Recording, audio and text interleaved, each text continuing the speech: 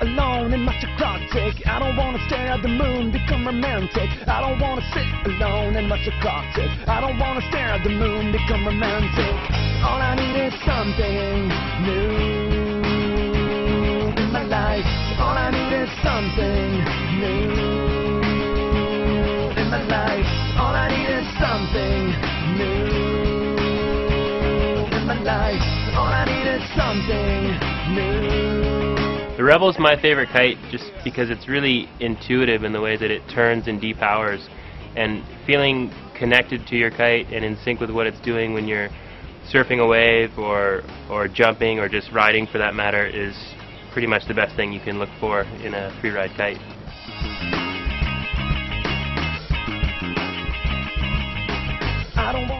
We knew we wanted to make the Rebel really smooth so that it doesn't luff and doesn't flutter very much.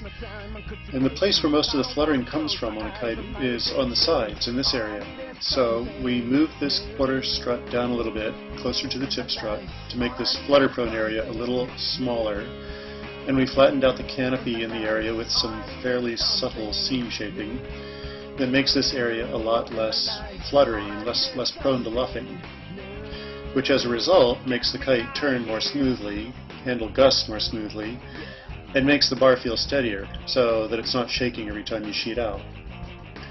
I guess I could make a car analogy here. You know, you know the road is rough and wind noise is loud, but you don't really feel it inside an expensive, well-built car. And the same thing with kites. If the kite's really well designed and built, you don't feel the impact of changes in the wind and you don't feel the fluttering and luffing so much.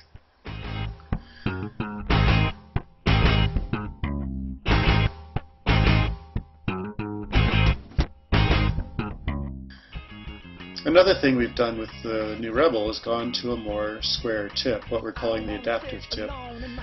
And uh, this includes an adjustable backline bridle.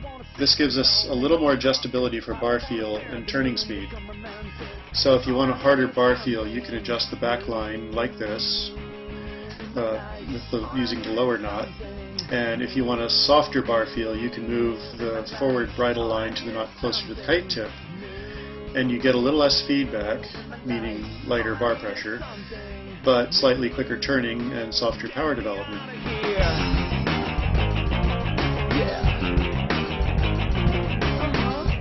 I think pro riders in general usually like the harder sheeting force setting just because it allows you to feel more connected to the kite, whereas free riders usually enjoy the, the softer uh, sheeting force setting just because it's a bit more comfortable.